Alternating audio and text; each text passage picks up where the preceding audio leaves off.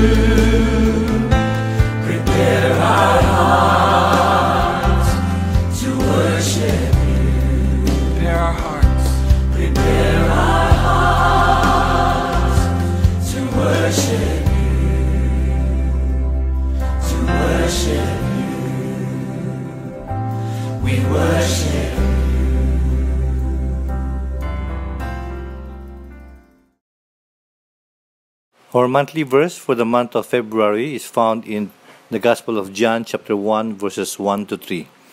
In the beginning was the Word, and the Word was with God, and the Word was God. He was with God in the beginning. Through him all things were made. Without him nothing was made that has been made. John chapter 1, verses 1 to 3. In the beginning was the Word, and the Word was with God, and the Word was God. He was with God in the beginning. Through him all things were made. Without him nothing was made that has been made. What and why we believe? What is God's providence? God's works of providence are His most holy, wise, and powerful, preserving and governing all His creatures and all their actions. What is God's providence? God's works of providence are His most holy, wise, and powerful, preserving and governing all His creatures and all their actions.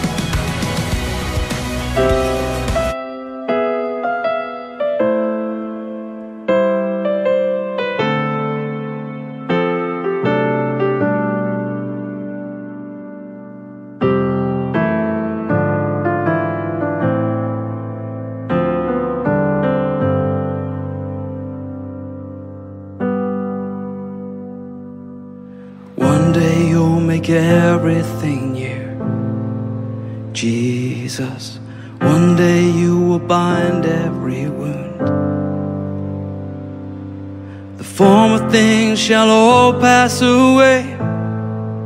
No more tears. One day you'll make sense of it all. Jesus, one day every question resolved. Every anxious thought left behind, no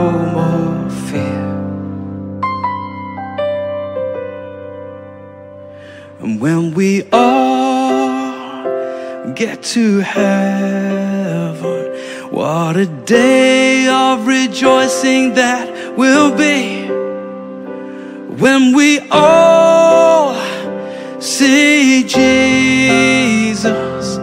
we'll sing and shout the victory.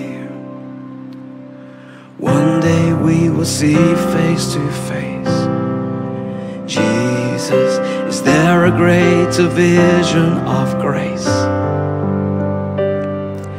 And in a moment we shall be changed on that day. And one day we'll be free, free indeed. Jesus, one day all the struggle will see your glory revealed on that day. And when we all get to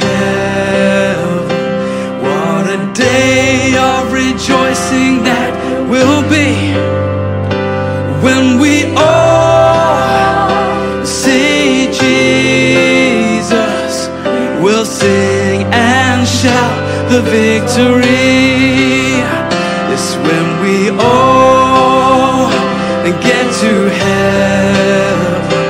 What a day of rejoicing that will be. And when we all see Jesus, we'll sing and shout.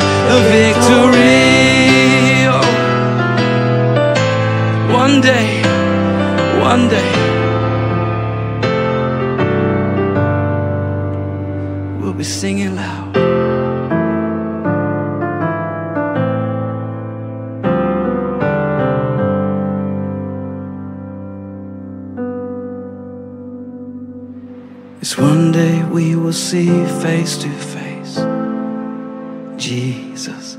Is there a greater vision of grace? And in a moment we shall be changed. In a moment we shall be changed.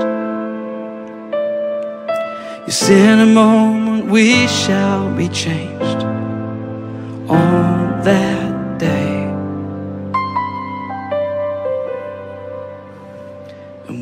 we all get to heaven, what a day of rejoicing that will be. When we all see Jesus, we'll sing and shout the victory. Oh, we'll sing and shout the victory.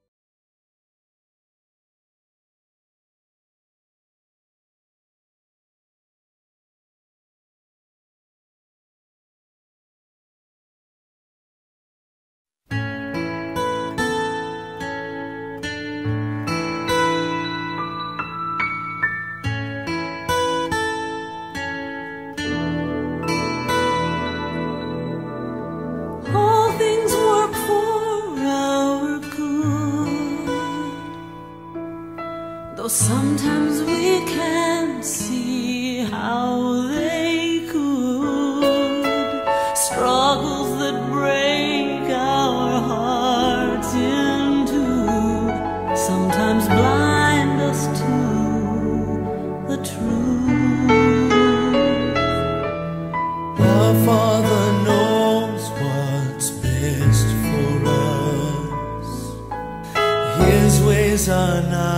not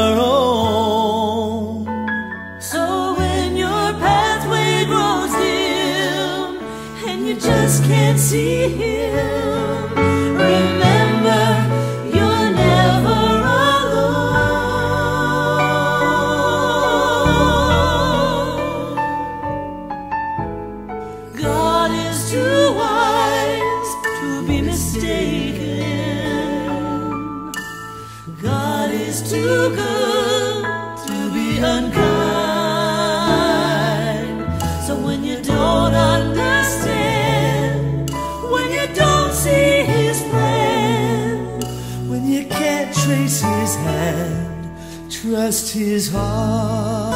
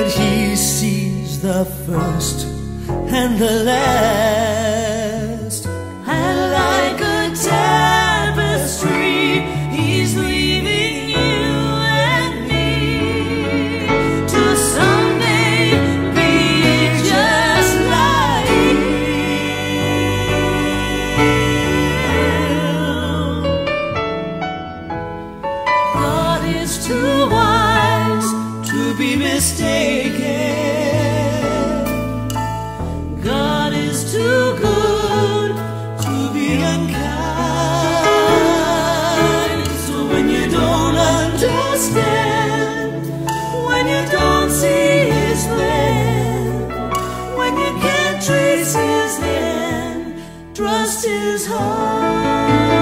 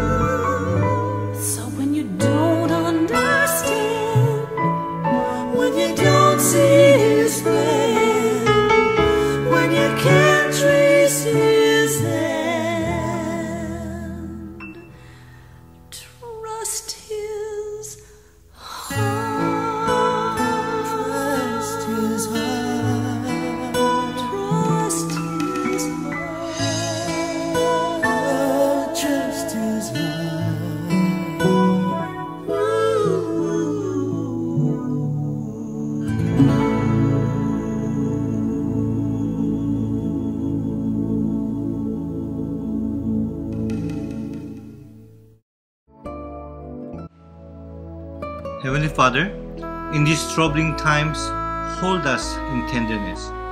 In these times of actual physical distancing, hold us together in spirit. Bless each one of us with comfort, compassion, and courage. And bless also those whom we hold in our hearts. As we gather before you this morning, we know that among our extended community who also worships you, there are those who are experiencing grief and sadness, uncertainty and worry, disbelief and outrage. Even among believers and family, fears can separate people. Fears can drive us to demonize others and doubt others and blame others. Enable us to rise above our fears. Enable us to remember that other people are not our enemy, they are fellow members of our human family. Enable us to see clearly that in these times our common foe is the spread of infection and the sickness it can cause. And our common goal is the common good. During moments of trouble and hardship, remind us of the depth of your strength and comfort. Remind us of the abundance of your compassion. We especially pray for those who are striving to make a difference the civil servants and health workers, the scientists, journalists, and caregivers, grocery and farm workers, food preparers, and those who deliver it. Thank you for all who put the common good of others above their private concerns. Thank you for the generosity of those who donate their time, talents, and money towards serving the needs of others in the community, this nation, and our world. Protect them and help bring down the number of people infected with the virus. As we strive to honor the healthy practice of social distancing, help us reach out not with hands but with our hearts, our kind words, and our attentive listening. Use the speaker this morning. Use your message to transform us into becoming more and more like you. May your words captivate our minds and our hearts. In Jesus' name we pray. Amen.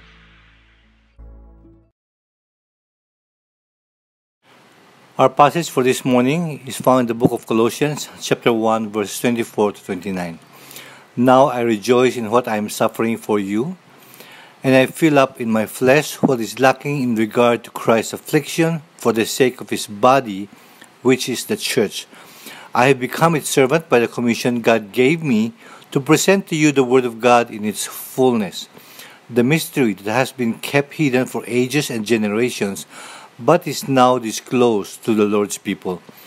To them God has chosen to make known among the Gentiles the glorious riches of this mystery, which is Christ in you, the hope of glory.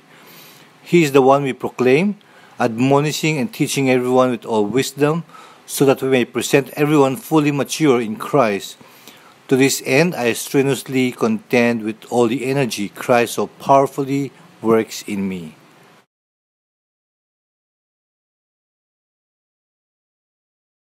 Good morning. This year we endeavor to study the book of Colossians, chapter by chapter, verse by verse. If you are taking down notes, I'm sure you can still remember that the theme for this book is the preeminence of Jesus Christ. Last week, we studied verses 20 to 23 of chapter 1 and saw one great example of Christ's preeminence. What was the example? Christ is preeminent because he was able to reconcile us to the Father. For those who were not able to listen to the sermon last week, let me read that theme verse to you. Verses 22 to 23. But now he has reconciled you by Christ's physical body through death to present you what? Holy in his sight, without blemish and free from accusation. If you continue in your faith, established and firm, and do not move from the hope held out in the gospel. This is the gospel that you heard and that was been proclaimed to every creature under heaven, and of which I, Paul, have become a servant. Paul is saying you cannot just know these gospel truths. These truths have overflowing and powerful implication. The more we understand the preeminence of Christ and what was required for us to be reconciled to God, the more we will be concerned about our personal holiness. Amen? Let me say that again for emphasis. The more we understand the preeminence of Christ and what was required for us to be reconciled to God, the more we will be concerned about our personal holiness. Our lifestyle should be more Christ centered as a result of that great truth. Now, in the next verses, Paul is going to tell us how a growing understanding of the preeminence of Christ has affected the way we handled, I mean, the way he handled his present imprisonment from for Christ. Okay, why is this important? Okay, listen to this. Paul wanted the believers of Colossae to be imitators of Paul, as Paul was an imitator of Christ. They were saved by Christ not just to vainly occupy space. They were saved and placed in the church not just to be entertained, but to minister to each other. So, technically speaking, all believers, including the Colossian church, are called to be in the ministry. And so Paul knew to the degree to which he was handling situations in ways consistent with biblical truth, the believers of Colossae can also model themselves after Paul. We all know that having a flesh and blood model to watch and pattern ourselves after is definitely much, much better. So our passage this morning, Colossians chapter 1, verses 24 29, was primarily intended for the Colossians. It was Paul's personal letter to the Colossians. But God, in His providence and wisdom, intended more than just that. It was written secondarily to give us insight into how God's preeminence should affect the way we do ministry as well. Let's open the Word of God to Colossians chapter 1. Let me read to you verses 24 to 29. 24 to 29.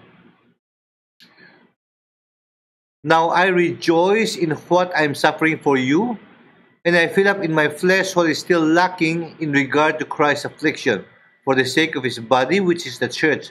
I become its servant by the commission God gave me to present to you the Word of God in its fullness, the mystery that, that has been kept hidden for ages and generations, but is now disclosed to the Lord's people.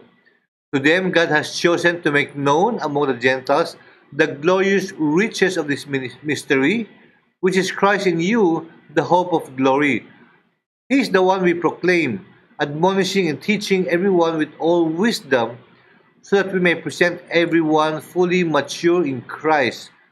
To this end, I strenuously contend with all the energy Christ so powerfully works in me.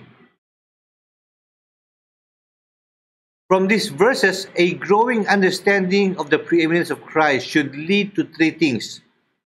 Firstly, understanding understanding the preeminence of Christ leads to a right view of suffering. Your view of suffering will definitely affect the length and quality of your ministry. How does Paul, the greatest missionary, view his suffering?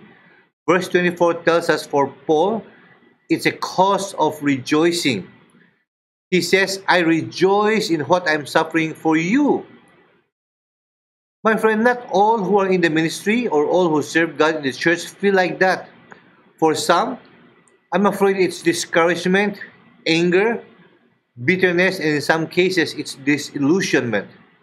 Paul is different. From the day God called him, he served with joy. Not superficiality, not silliness, not the kind of joy that we have when we're young and we don't know enough to be as sad as we ought to be. Now, that does not mean that Paul never cried or he never experienced heaviness of heart. Whenever Paul looked at Israel, he said, I have great sorrow and unceasing anguish in my heart. How I wish that I myself were cursed and cut off from Christ for the sake of my people. Paul lived his whole life bearing a burden of sorrow for his own people. But that burden of sorrow over the condition of his people never, never stole his joy in the ministry. In fact, if you go to Second Corinthians, he says, Nothing on earth can touch my joy in the ministry. Let me read that verse to you. Second Corinthians 4 8. We are hard pressed on every side, but not crushed. Perplexed, yes, but not in despair.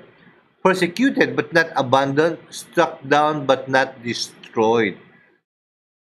Many sorts of negative things were coming at Paul everywhere since the day he accepted God's commission.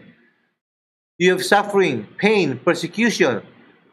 All this has become the norm for him. That's why he says, We are always, we are always being given over to death for Jesus Christ. It's okay if you experience things like that once or twice a year. But Paul, he is brushing with death every day. He was beaten, stoned, shipwrecked. He was despised, threatened, and jailed. By the way, when he writes the book of Colossians, he was in prison in Rome. Paul is like Jeremiah. Jeremiah puts his heart out to the people to warn them of the judgment of God, and nobody listened. And worse, at the end of his life, they threw him in a pit. What was Jeremiah's attitude? How did he respond? We call Jeremiah the weeping prophet because he wept, he shed tears, his heart was broken. But listen to what he said in Jeremiah 15 16. When your words came, I ate them. They were my joy and my heart's delight. Nobody listened to Jeremiah, but the privilege of hearing from God, the privilege of knowing God's word and preaching God's word, even if no one ever listened, was a joy and a delight for Jeremiah. James also shared the same viewpoint. He said in James chapter 1 verse 2, Consider it pure joy whenever you face trials of many kind. How in the world is it possible for believers to have joy in the midst of terrible circumstances? Many businesses were forced to close down because of this pandemic. Many died due to COVID virus. This is, I mean, there is so much uncertainties. How can we rejoice? Notice, God never promised us happiness or laughter in the midst of terrible circumstances. He promised what? Joy. Joy in the midst of terrible circumstances. Joy and happiness, they're different thing, okay? Happiness depends on your outward daily happenings. If your happenings are positive, you're happy. If negative, you are not happy. But joy is very different. Joy is internal. That means it is independent and not related to all your happenings or circumstances. Because it is internal, no external happenings should touch your internal joy. Do you know the terrible circumstances and deep down joy can coexist together in a believer's life? That's what the Bible says. Listen to this Philippians 1:29. For it has been granted to you, believers, okay, on behalf of Christ, not only to believe in Him, but also to suffer for Him. So ask yourself these questions Are you joyful in the ministry opportunities God has given you, even if there is some level of suffering involved? Or are you like Elijah, who said, It is enough, Lord, take my life? Or like Jonah, who responded to the ministry with rebellion, bitterness, anger, and lack of faith. Sometimes we hear pastors say, I'm going through burnout. Honestly, you don't get burned out by doing work. Really, I never heard plumbers complain of burnout for plumbing correctly. I never heard construction workers complain of burnout for building things honestly and with quality. People who work hard don't have burnout. People who enjoy their work don't have burnout. Burnout means you have unrealistic expectations that are not being met. You think you deserve more than what you get. You think you deserve the applause, you deserve the raise, you deserve the credit, but you get nothing and you are not happy. When God called Isaiah, God clearly told him that nobody would listen to him preach. Isaiah said, How long do I do that, Lord? The Lord said, verses 11 to 12, Until the cities lie ruined and without inhabitant, until the houses are left deserted and the fields ruined and ravaged, until the Lord has sent everyone far away and the land is utterly forsaken. Isaiah never experienced burnout because he knew what was coming. He knew no one would listen. Just keep preaching even if no one will listen. Just be faithful no matter what the result. Listen to this. What produces burnout is pride. What produces burnout is unrealistic expectations. But humility, humility is the antidote for burnout because it produces deep seated joy. Low expectations prevents burnout. Now, before we move on to our next point, there's something important that we just cannot miss, okay? Verse 24 says, I rejoice in what I am suffering for you, and I fill up in my flesh what is lacking in regard to Christ's affliction for the sake of his body, which is the church. Now, some people have tried to use this verse as a support on the doctrine of purgatory. They say that Christ's death, burial, and resurrection was not enough to deliver us to heaven. We have to go somewhere for a period of time to satisfy that which was lacking. Is that right? How do we know that's not what this verse is teaching? Well, first, that interpretation contradicts the previous verses we studied last week and also contradicts the theme of the entire book of Colossians. You see, if Christ's work on the cross is lacking, then Christ is not supreme. If his work on the cross is lacking, then he should not have said, It is finished.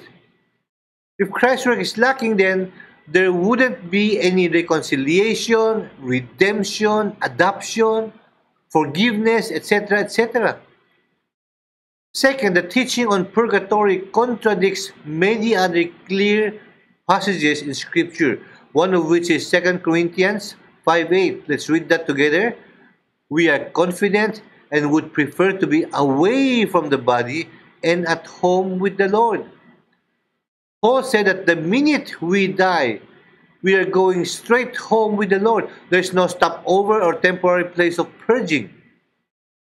So, Pastor Billy, if that verse is not teaching purgatory, then what, what is it saying? Okay, is Paul saying we have to add something to the atonement? Is Paul talking about the cross as if it was incomplete? Actually, many views have been suggested, but there are two possible explanations. I mean, two possible explanations, and they complement each other. Okay, the first explanation is this. Listen to this because this is very, very important. Okay, Paul says, "I fill up in my flesh." So Paul is referring to his own suffering, not Christ's suffering. Paul is not adding to the suffering of Christ. Every time Paul suffers persecution, pain, imprisonment, he is literally filling up affliction intended for Christ. Jesus himself taught his followers that they will suffer because of their identification with him. John 15 20 21 says, Remember what I told you a servant is not greater than his master. If they persecuted me, they will persecute you also. They will treat you this way because of my name. In other words, they hate Paul because they hated Christ. They want to hit Christ, but he's not here. So they hit us. The world wants to mock Christ, but he is not here. So they mock us. It's like we are at present taking the blows for Christ, who took all the blows for us on the cross 2,000 years ago. You see that? Okay? For Paul, to suffer for Christ is a great privilege. To be hated upon or to even die as a martyr is a great privilege. E tayo, konting aray lang, I will not go to church anymore. Konting ulan lang, I will not go to church anymore. Christians, we should have the mentality of the president's bodyguards. To us, it's a special privilege to take blows meant for him. To us, it's an honor to even take a bullet or die for him. 2 Corinthians 4.10 says, We always carry around in our body the death of Jesus. You know, this verse is very, very interesting. If Paul says we always carry in our body the blows of Jesus, I would understand that. But he said we always carry in our body the death of Jesus. Why? Because if given the chance, let me tell you, the world would want to kill Jesus again and again. If Jesus came today, they would definitely kill him again. But he is not here. So they kill us, they mar- martyr us, they abuse us, they malign us, they imprison us. This is the first explanation. The second explanation is this Paul's sufferings fill up what is lacking in Christ not by adding to its worth, but by extending its worth to the people they were meant to bless. What Christ did on the cross is not deficient in worth or merit. It is sufficient and it is finished. Nothing can be added anymore. What is lacking is that his work on the cross is not seen and known among the nations. There is still a mystery or hidden to most peoples. And God's intention is that this mystery be revealed, be extended to all the Gentiles. How could we remedy this according to Paul? How could we reveal, extend this mystery to all the Gentiles? We must carry his message to the world. We must preach his message to the world. When we do that, we are, in a sense, filling up what is lacking in the afflictions of Christ by extending them to others. Let me try to make it simpler, okay? Christ's cross was for propitiation. Our cross is for propagation. Christ suffered to accomplish salvation while we suffer to spread salvation. Is that clear? Okay, brothers and sisters, listen to this, okay? Whenever we suffer, we are not suffering for ourselves. We thought we are suffering for ourselves. We are not. All our sufferings here, according to Paul, are vicarious, meaning we are suffering on behalf of God and His church. We are very lucky because we can worship God freely in the Philippines. In communist countries like Russia or China, in Muslim countries like Iran, to be a Christian means either torture or death. Every scar, every broken bone, every beating, every mark they receive, they look at it as a mark of Christ and mark for Christ. Question Why would an all wise God allow persecution and pain to be part and parcel of following Him? Don't you think more and more people will follow Christ if there is no suffering? UCC Church, okay, always remember this. God has a purpose in your pain. God has a purpose in your suffering. Okay? 2 Corinthians 12, 7 to 9, let's read that. Because of these surpassing great revelations, therefore, in order to keep me from becoming conceited or proud, I was given a thorn in my flesh, a messenger of Satan to torment me. Three times I pleaded with the Lord to take it away from me, but he said to me, My grace is sufficient for you, for my power is made perfect in what? Made perfect in weakness. Paul is saying, suffering weakens you. The greater the pain and suffering, the weaker you are. And the weaker you are, the stronger Christ is. My friend, you've got to get yourself out of the way if you want to serve God effectively. You see, you and your ego, your pride, your selfishness, your sinfulness, they are all the biggest obstacle to the effectiveness of your ministry. Suffering has many benefits for believers. Suffering brings us closer to God. It assures us that we truly belong to Christ. Not only does greater suffering mean more glory to Christ, it also means more benefits to the church. Suffering, pain, and problems, they are necessary to bring people into the church. Church history is filled with accounts of those who came to Christ after or while watching other Christians endure suffering. Question Where can we find the greatest church revival right now? Not in China. More and more people are becoming Christians, even in Muslim countries like Iran and Egypt.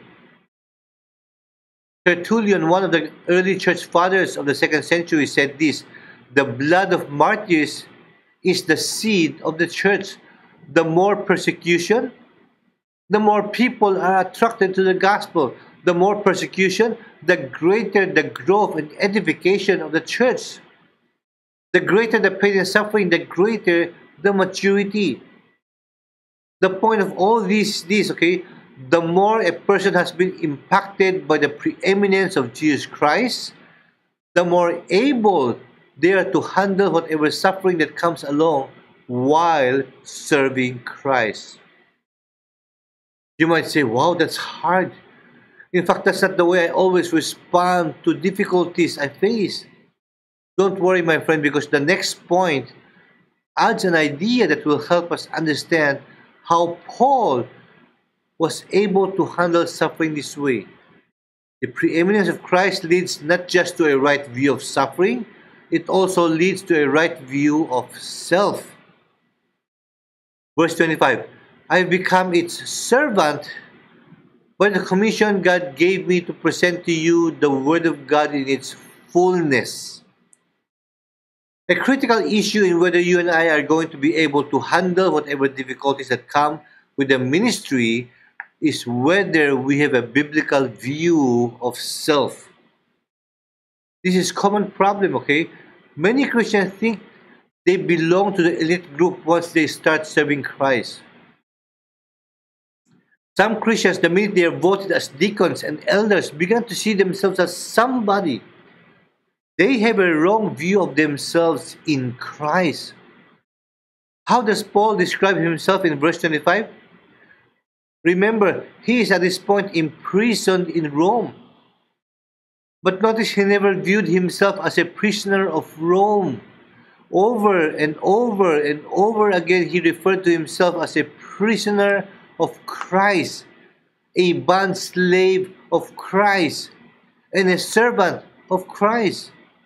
And this view of self, it became a critical component to the way he responded to difficulties and sufferings. Paul calls himself a servant in verse 25. The word in the Greek is diakonos, from which we get the word deacon. The basic, the very basic meaning of that word is assistant waiter, or someone who picks up the dirty dishes, or someone who serves the waiter. In a restaurant, the waiter takes the order, but the assistant waiter brings the food and takes away the dishes. Paul said, I was made a server, I was made an assistant waiter.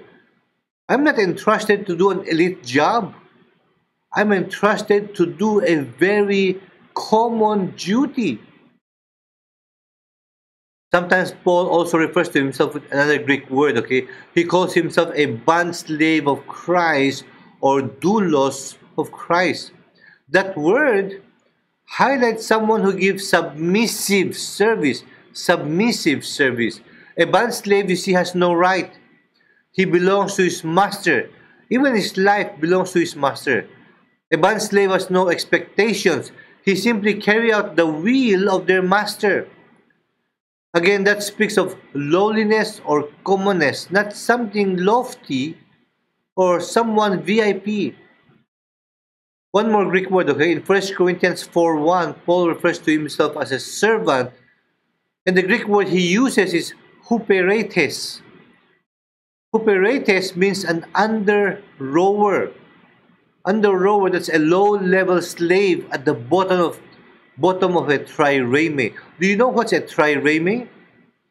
A trireme is a wooden ship with three levels of men pulling oars below the deck. And the under rower was the one at the lowest level or the bottom. Paul says, among those who rowed the ship, I'm at the lowest level or I'm the one with completely no privilege whatsoever. In the lowest level, the place is in complete darkness. Only a lamp was there so they can see the, the, the leader. In the lowest level, there are no windows. No windows for them to see where they are going and, and, and they don't complain. Says in the lowest level, we never see the light of day. and sometimes we're even chained to the oars. We don't complain. Paul says, You have to understand I'm not important, but that's okay because that's who I am. I'm an under rower. I'm even lower than what is common. Can you see the picture? But, Pastor, you are servants of the living God. Pastors, you receive a special calling from God. Pastor, I'm the team leader of our church Sunday school. I'm the best teacher. Without me, the Sunday school wouldn't be that successful. But, Pastor, I'm an elder. I'm on the top of the hierarchy. Pastor, I'm the financier. Without me, the church would collapse. Listen to this. From the world's standpoint, and because we are the representatives of God here on earth, being in the ministry is an elevated position, yes. Your position is an elevated position.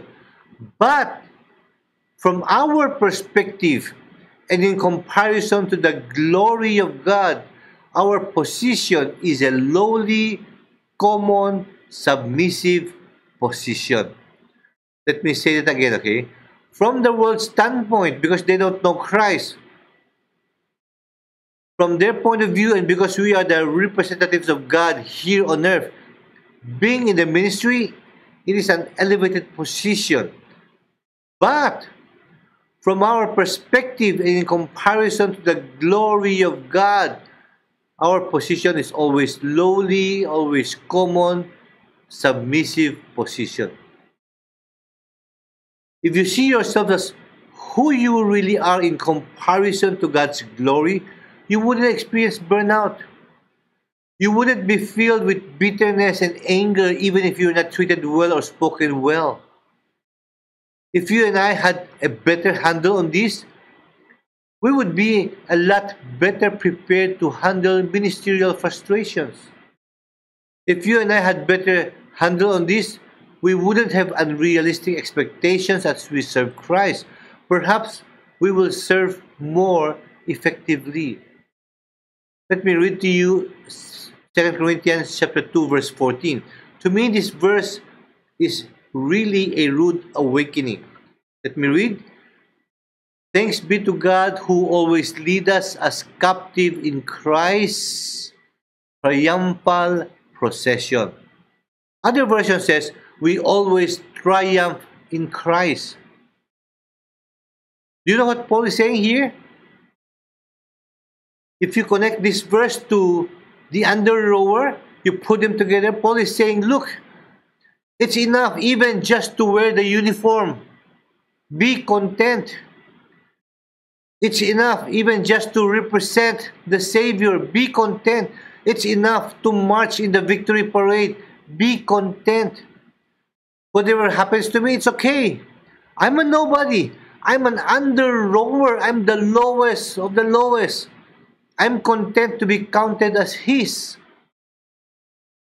UCC Church, only when we see everything as privilege, everything as mercy, everything as a trust, everything as grace, will your joy be untouchable even in the midst of suffering, pain, or persecution. Last Sunday, I decided to have an on-site CD meeting, so I asked the non-CEDs to give up their slots. None of them complained. They all said, go ahead, Pastor, we understand. I guess they understand that on-site worship during pandemic is a privilege. Not all Christians are like these people. Some are theologically informed, but practically they're untransformed. They call themselves servants, but they don't give Christ the right to bring anything or do anything He wants into their lives. If we truly understand the preeminence of Christ, if we are truly impacted by Christ's preeminence, then He must increase and we must what? We must decrease. The second part of Paul's view of himself is that he remembers he is also a steward. I've become its servant by the what? By the commission God gave me to present to you the word of God in its fullness. He was commissioned. Paul says, I was given a stewardship from God. It was placed on me, not for me, but for you. It's for your benefit, for your maturity, for your growth, for your soul. Stewardship is oikonomian in Greek meaning ruler of the house or house manager. Paul says, I was given the responsibility of managing the house. I was given a deposit, a stewardship, a management responsibility. Actually, this does not just apply to Paul, it applies to all believers. Let me give you an illustration. If somebody important, somebody precious to us, somebody that we love came along and gave us something very, very precious and said, Would you hold this for me? Would you protect this for me? Of course, we would do that with our life, tama. Now, imagine God Himself gave us a stewardship, a deposit, a sacred trust. And this God that, that saved us, that died for us, He said, This is my message, this is my word. It's the only thing in this world that can revive spiritually dead men. Guard it and share it to all people. How can we be indifferent or disobedient? How dare we trivialize His message? Open your Bible to Isaiah 66 verse 2, okay? Let's read that together. The Lord is speaking here, okay? These are the ones I looked on with favor, those who are humble and contrite in spirit and who tremble at my word. That means when it comes to the ministry, God is looking for those who have a sense of holy fear and a sense of holy responsibility. If you volunteer to do, God, to do God's work, or if you are called to do God's work and you say, okay, but you do it haphazardly, you say, okay, but you don't have a sense of holy fear as you prepare. You don't have a sense of holy responsibility as you prepare. Then you are trivializing God's message or God's work. You are treating God's holy word irreverently. The Lord is looking for people to be placed in His ministry who tremble at that responsibility. Paul trembles at His word. Paul trembled at that responsibility. He said in 1 Corinthians 9, Woe to me! Woe to me! I am cursed if I do not preach the gospel. In 2 Timothy 1.14, he says, Guard the good deposit that was entrusted to you. Let me stop here for a moment, okay? Allow me to extend this principle and bring it into our home. All parents or would-be parents, listen to this, okay? Our children are also a trust from God to be nurtured and given back to Him. That means we will one day, we will all one day have to give an account for how we have discharged our stewardship. So, parents, ask ourselves Are you raising your children in the way of God or in the ways of the world? Are we training them in righteousness? Are we influencing them or not? Are we praying for them or not? The measuring stick that God will use when we give an account is not are they successful, but are they honoring God?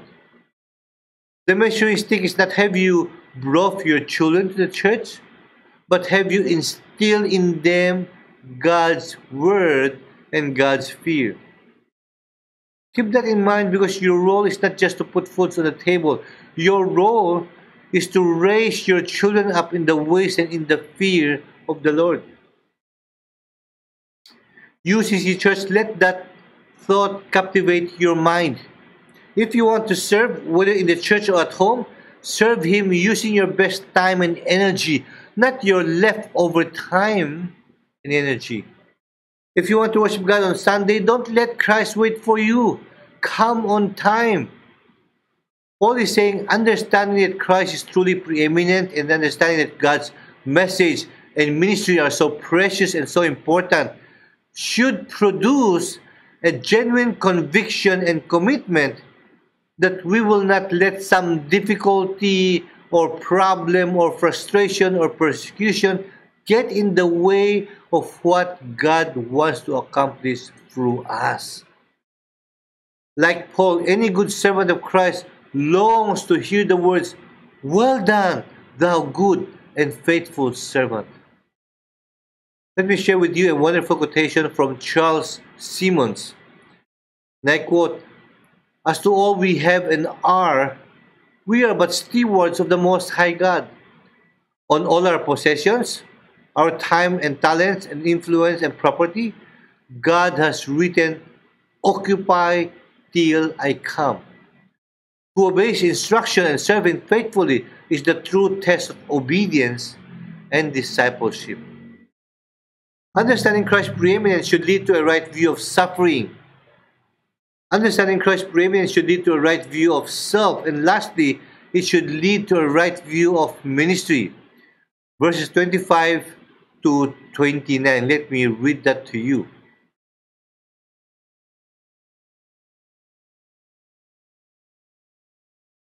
I've become its servant by the commission God gave me to present to you the Word of God in its fullness, the mystery that has been kept hidden for ages and generations, but is now disclosed to Lord's people. To them, God has chosen to make known among the Gentiles the glorious riches of, of this mystery, which is Christ in you, the hope of glory.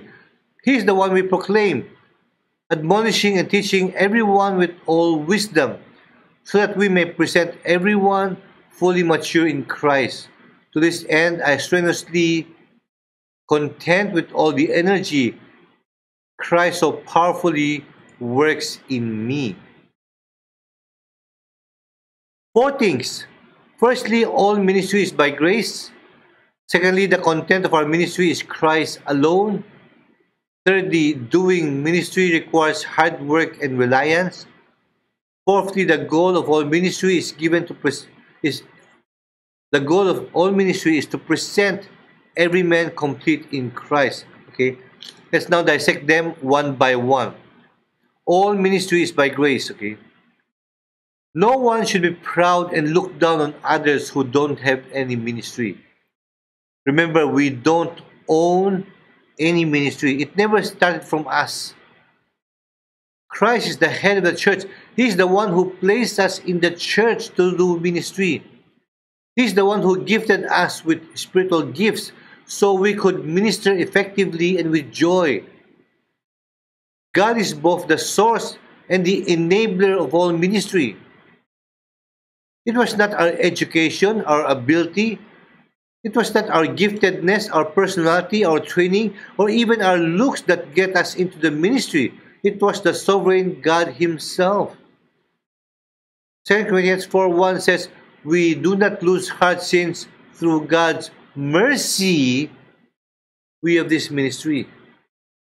That means if you are in the ministry, any ministry, my friend, it's because of mercy and grace and you have been placed there for a reason by our sovereign God.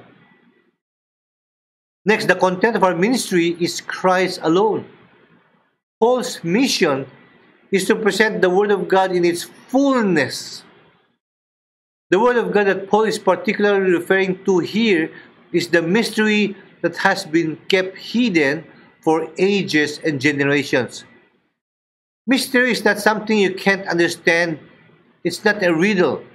It's not secret teachings, secret rites, or secret ceremony known only to some. That is not what Paul is saying here. Mysterion is that which was hidden in the Old Testament is now being revealed in the New Testament. We believe that the things God revealed to humanity were not all given at once. His revelation was given in stages this is what we call progressive revelation. Progressive revelation means that the Old Testament revelation although accurate, is incomplete. The fullness of certain teachings cannot be found in the Old Testament. Progressive revelation does that mean that the Old Testament is somehow less true than the New Testament? No. Progressive revelation means the progress was not from untruth to truth. The progress was from less information to more full information. It means that the revelation found in the New Testament is complete. Progressive revelation is a movement from truth to more truth to full truth. Having said that, that means all the books that goes beyond the book of Malachi is classified as mystery. All 27 books of the New Testament from the Gospel of Matthew to Revelation is classified as mystery. Question Does that mean that we cannot preach from the Old Testament? Of course not. Old Testament are God's word too. They're also inspired. But if you love reading only the Old Testament or spend so much time reading Old Testament because narratives are easy to read, then you will miss many truths that are revealed only in the New Testament. Let me give you some examples. The New Testament reveals that when the time has fully come, the Word became flesh. It's called incarnation. You don't you don't find that in the Old Testament. The New Testament reveals why Israel rejected Jesus when he came the first time. It's called mystery. God allowed the partial blinding for a purpose, and you don't find that in the Old Testament either. In the sovereign plan and wisdom of God, Jews and Gentiles can finally become one. That's something impossible in the Old Testament, but you find that all over the epistles in the New Testament. So, of course, we could preach from the Old Testament, but don't forget the pattern set for us. The pattern set for us by God through Paul is that we are preachers and ministers of the mystery. Our emphasis should be on the new revealed truth that God revealed. And then use the Old Testament as examples. That's the biblical pattern set by God, okay? Let me give you an analogy, okay? Should I pray to Jesus or should I only pray to God the Father? How about it? Should I pray to the Holy Spirit or only pray to God the Father? Why not? Jesus and the Holy Spirit, they're both God also. Jesus and the Holy Spirit, they are persons in the Trinity. And to speak to them as a saved sinner is only natural, so why can I pray to them? We can pray to God the Son, we can pray to God the, the Holy Spirit. But the normal pattern, the normal or biblical pattern set forth by Scripture when it comes to prayers that we pray to God the Father in the power of God the Spirit, in the name or by the authority and the merit of God the Son. Yes, the Old Testament teaches us the blessing of obedience and the cursing of disobedience. Yes, there are so many things to learn from the Old Testament, but don't forget we are ministers of the mysteries. We are ministers of the New Testament. And speaking of mysteries, let me make this very, very clear. These mysteries are not discovered by the genius of man. Verse 27 is very clear God has chosen to make known among the Gentiles the glorious riches of this mystery, which is Christ in you, the hope of glory. It is God's will and purpose that His people know this truth, so He reveals this truth to us. And the most profound truth is the indwelling of Christ. Meaning the Messiah would not just come, but the Messiah would live and be in us. That's the indwelling of Christ. That's the mother of all mysteries. Paul calls it Christ in you, the hope of glory. UCC Church, Our message is not a system or a collection of rules and regulations. Our message is about having an intimate personal relationship with Jesus Christ. We do not preach a religion, we preach relationship. Pastor Billy, I'm a simple housewife. I'm confined mostly at home. How can I share Christ and His Word? Listen to this principle, okay? Whoever or wherever you are, you are accountable to preach the whole truth to all people in the sphere to which the Lord has called you or placed you. If you're a housewife, then your sphere of influence is your children and your helper. Teach them, admonish them, warn them. We can all be teachers in our own little capacity. All Christians must serve Christ in some capacity. Fulfill your ministry in the sphere God has placed you.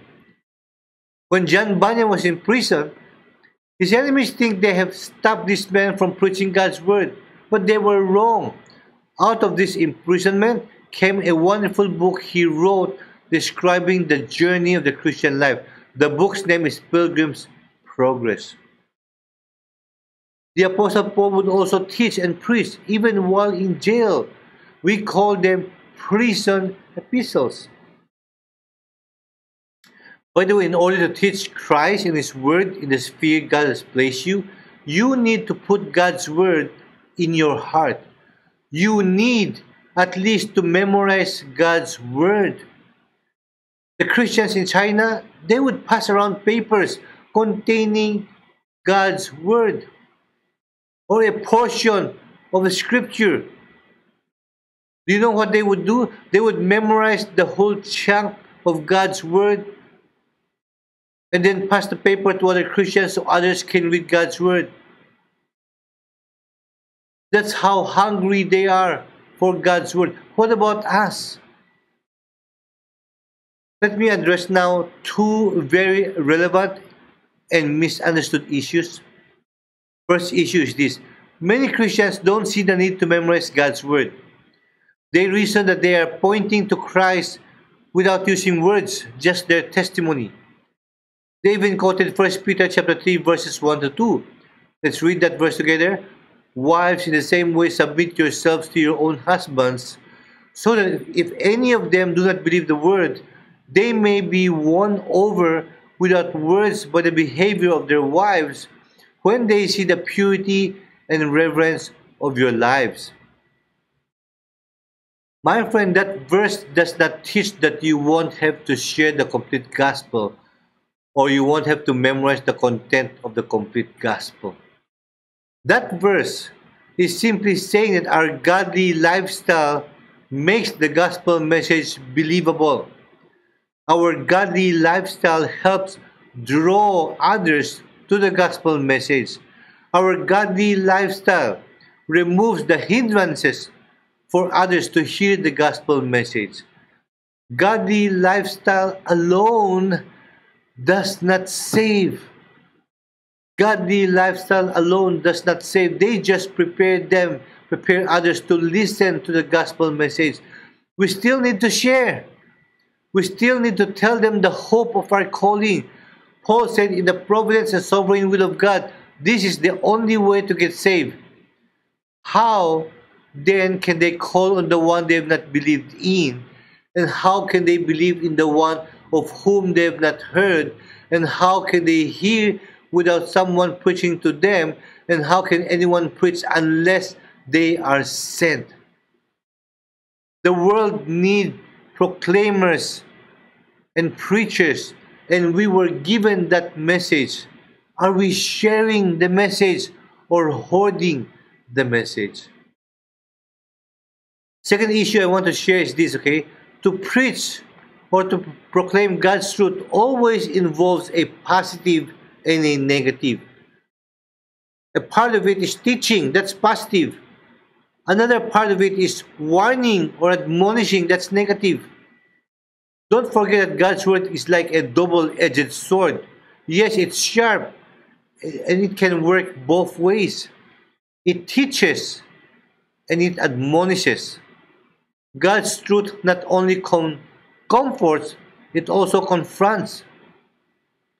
Many Christians today are people pleasers. They don't want to confront. They want people to like them. They would rather keep quiet than speak the truth in love. Or they would water down the, the warnings in such a way that it, it sounds nice to hear. Many Christians are deceived into thinking that image and influence is the key to evangelism. They wrongly believe that if we are going to reach the non believers, we have got to be popular, we have got to be acceptable, we have got to be like them. That's wrong. Just like saying to save the world, we must act like the world. The best way to reach the world is to be unlike the world. Say what need to be said in love and wisdom, even if it hurts. And let God do His work of conviction. But possibly that would be loving. Of all people, Christians should be loving people. My friend, love without truth is hypocrisy. Love without truth is simply emotionalism. We must not shun away from speaking the truth in love and wisdom. John MacArthur said this Don't ever water down the gospel. If the truth offends, then let it offend. People have been living their whole lives in the offense in offense to God. Let them be offended for a while. Next, doing ministry requires hard work and reliance. Verse 29 To this end, I strenuously contend with all the energy Christ so powerfully works in me. Other verses says, I labor, I strive. You know what verse 29 is saying? You want to be faithful steward? You want to accurately preach the complete and right doctrine? You need hard work. You need to labor. You need to work to the point of sweat and exhaustion, sometimes even sleepless nights. That's how Paul served. He had three missionary journey, basically to the same locations. Okay, he didn't go east, north, south, west. Actually, he had four missionary journey. The fourth one was financed by Rome. The first missionary trip, he went and preached the gospel and established churches. The second missionary trip, he went back to the same place and strengthened the churches and appointed elders and extended it a little further. Third missionary trip, same place, same people, same elders, and extended it a little further. Fourth was a jail ministry. That's how focused Paul was. That's focus and hard work. But there's more. Paul said, with all the energy Christ so powerfully works in me.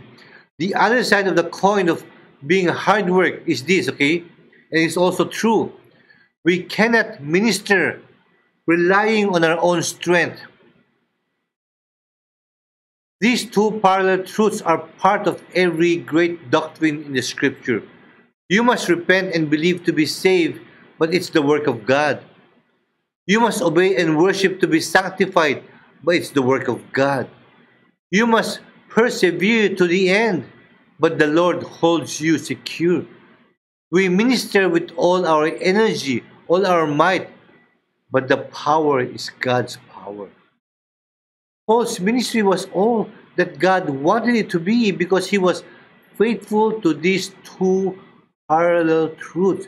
He was so focused and hardworking. At the same time, he was completely relying on the power of the Holy Spirit. There's a principle here that we shouldn't miss, okay? You take care of the depth of your ministry. You be faithful where God places you, and He will take care of the breadth of your ministry. If what you do in your little place honors God, it will go as far as God wants it to go. I'm a half baked Chinoy. I'm not good in Mandarin, English, and Tagalog. I may be more comfortable in Amoy, but my Amoy is also not that deep. But does that stop me from sharing and teaching? No, because this is my calling. Because I'm accountable to God and because I enjoy sharing, I have to work extra hard for every sermon and Bible study. Whenever I'm preparing my sermon, I keep asking Ariel how to say this and how to say that in English. I keep asking her, is this grammar correct or wrong? That means, okay, listen to this. You don't have any excuse for saying, I cannot teach or I don't know how to share. No excuses because if God calls you, God will be faithful to enable you to teach and serve. Just don't be lazy. Be completely dependent on the Holy Spirit. Okay, lastly, what's our goal? What are we after? So that we may present every man complete in Christ. Our aim is not merely to win people to Christ, but to bring them to spiritual maturity. Only then can they be able to reproduce their faith in others. In 2 Timothy 2, verse 2, Paul charged Timothy with this What you have heard from me in the presence of many witnesses, and trust to faithful men who will be able to teach others also. That's three generations. That's a huge task, don't you think? How many of you, if we made a survey right now, would say you are complete in Christ? None of us, right? That means there's no graduation if we want to be complete or perfect. Paul said, Not as though I have attained it. Question How do we move toward maturity? Answer By feeding on God's Word. 2 Timothy 3 16 17, a classic verse. All scripture is God breathed and is useful for teaching, rebuking, correcting, and training in righteousness, so that the servant of God may be thoroughly equipped for every good work. Good work. Do you grab every opportunity to grow? Do you listen to sermons only during Sundays? What about at home? During your spare time? Do you listen to sermon on YouTube? Do you read Christian books or only daily bread? This is the burden of every pastor. I want to see you mature and complete. I want to see you able to discern between what is black and gray. I want to see you able to defend the faith with all wisdom and love. I want to see you produce disciples of your own for Christ. That's why we need to pray for you need to pray for me. You need to pray for Elder Dex. That's why you need to pray for, for the CDs, for, for the leaders, that we will not forget this important goal. A few more words and I will end, okay? If you know Christ, you are then enrolled in the course called ministry. There are assignments and there will be final exam.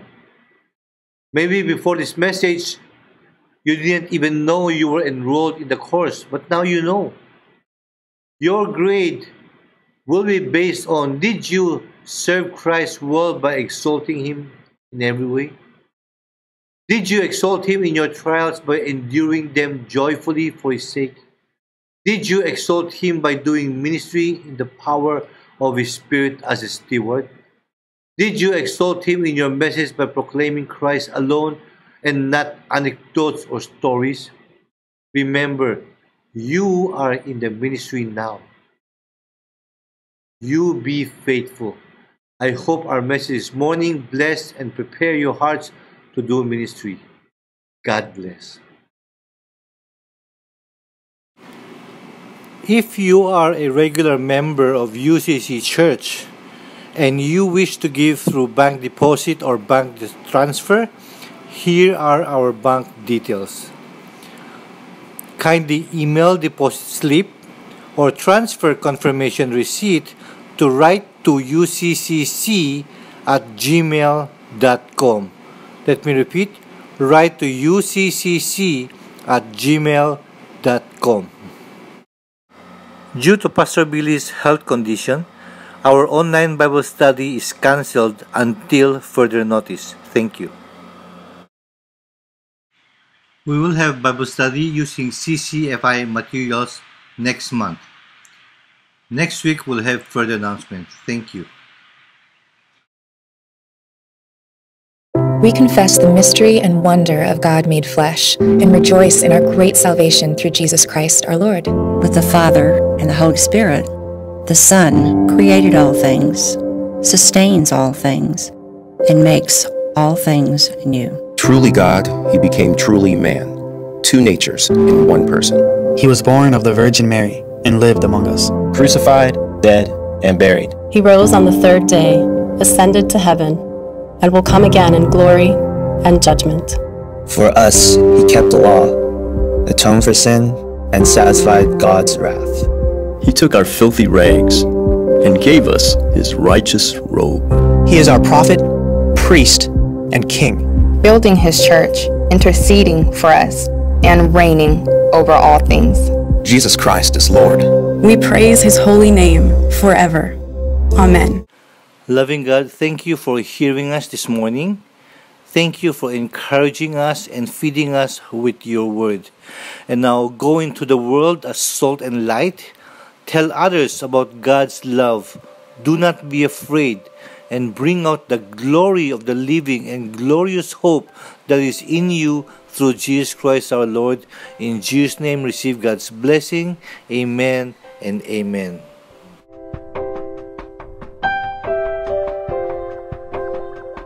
There is a candle in every soul, some brightly burning, and some dark and cold. And there is a spirit who brings a fire, ignites a candle, and makes his home. Carry your candle. Run to the darkness, seek out the helpless, confused and torn, and hold out your candle for all to see it. Take your candle and go light your world. Take your candle and go light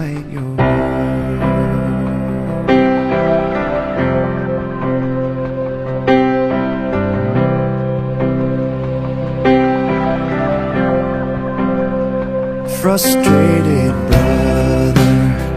See how he's tried to light his own candle some other way. See now your sister She's been robbed and lied to. Still holds a candle without a flame So carry your candle the darkness. Seek out the lonely, the tired and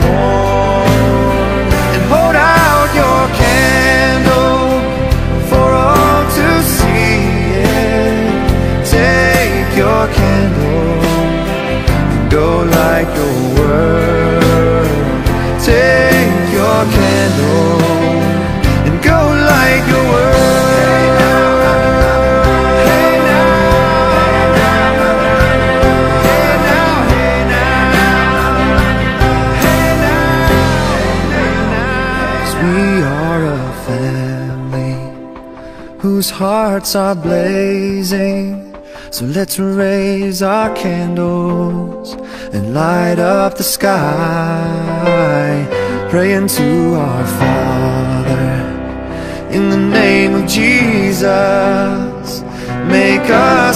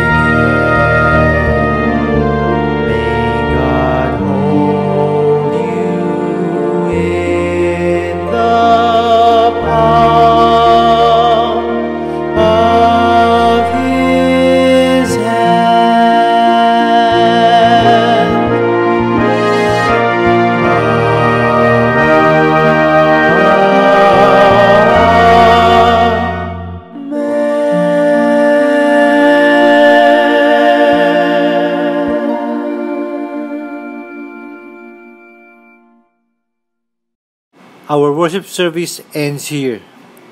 God bless everybody.